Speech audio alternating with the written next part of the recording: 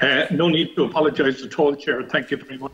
Well, it's, um, it's interesting, Minister, that you're talking about the Bianconi coaches. My grandfather was the last coachman in um, Ireland, or in Galway, and he drove a Bianconi to Clifden with four horses. So transporting Galway is in my blood. And Minister, what I want to talk to you today about is light rail. Uh, anybody in, in uh, Galway who uh, would be looking at the city would say if you're building um, a city, you would certainly not start with the way Galway is laid out. Um, there is a very active group in Galway concerned with light rail and trying to bring light rail to the city. An excellent report has been prepared by uh, Mort Coleman, Chartered Engineer, which I would ask you to engage with. Minister, bringing more buses into Galway is not going to solve the problem. 336,000 cars a week travelling into the city.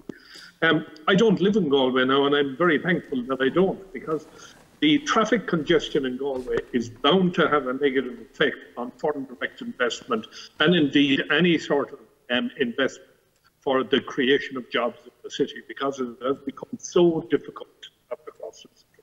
Now, I understand there's a plan in place. Mr. Minister, you've shown tremendous imagination today and willingness to listen and to reappraise situations, I suppose.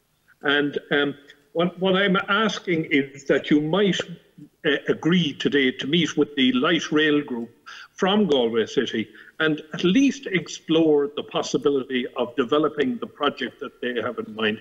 22,000 citizens in Galway have already said they favour some sort of light rail system in the, in the city. And I think the system they're talking about now is the Coventry system, which is not a Luas heavy rail system, but a very light rail system, uh, which could run from, say, Carnmore Airport into the city and right through to Barna, um, feeding all of the, the satellite uh, places around the city, Mervue, Ballybane, uh, right through Renmore and on then through Salthill, out through Knocknacarra and on to Barna.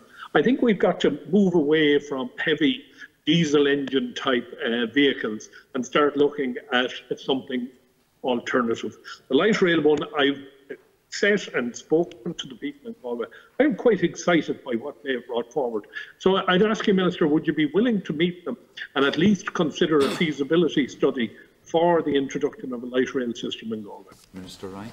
Before going on, I'd just go back to your Bianconi connections because he was an incredible man, an Italian, friend of Daniel O'Connell, used to was hauling picture frames around the country and fed up seeing the aristocracy going by in their carriages, so he decided to set up his own. He was the Ryanair of his day with, with a real class, and he ended up going as far as Belmullet with the first stop in I'm sure, stop. I'm sure, I'm sure Michael O'Leary will, will, be, will welcome the comparison. Yeah. Um, can I say, can I say with regard to Galway, Uh, and I have met on regular occasions the, the, the various uh, people advocating rightly for, for light Rail in Galway. Uh, they make a very good case.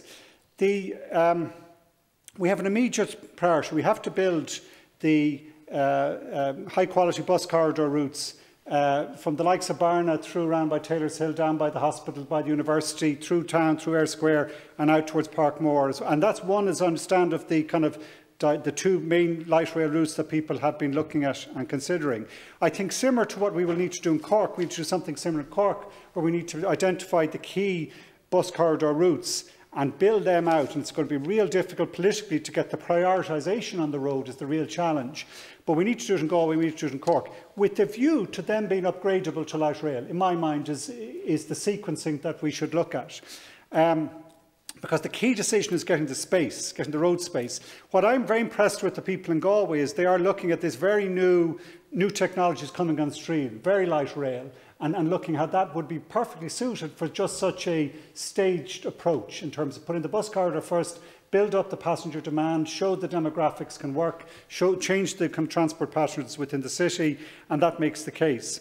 I think within that, yes, we will look, uh, we have to look at a, a review next year of the Galway transport strategy. And I think within that, we're perfectly placed to look at the light rail options, but it can't be delay and wait we have to proceed with the, in my mind, not just the bus routes in Galway, but also the cycling infrastructure, because it, it is probably the worst affected city and area in, in, in the country in terms of traffic. Everyone knows it. Uh, everyone living on one side of the city, working on the other, huge congestion. Uh, and I believe that those sort of uh, public transport and cycling and active travel solutions are going to be critical. And I think by, by delivering those, that then sets us on the path towards converting them towards light rail routes, as I think that the, the latest thinking from the light rail community in Galway is on similar lines. Literally, bus lanes turned into light rail lines using new, advanced, very light technology. And I would be very supportive of, of uh, reviewing that next year as part of the review of the Galway Transport Strategy. Uh, Senator Craughwell. Uh, thank you very much, Chair. Um, I want to thank the Minister. That was um, really encouraging what I heard there. And the next time the Minister is in Galway, you amazed me with your knowledge of every town and village in Ireland today.